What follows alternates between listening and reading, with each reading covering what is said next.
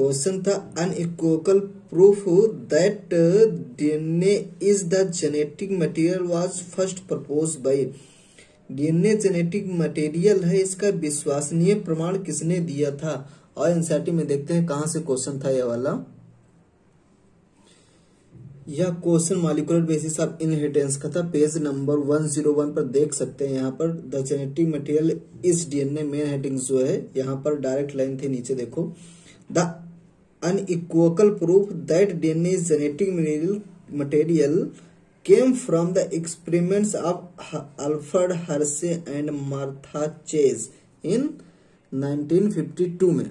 देखो direct line था, यही यही पूछा गया था। और ऑप्शन में देखते हैं कौन सा ऑप्शन सही होगा इसका।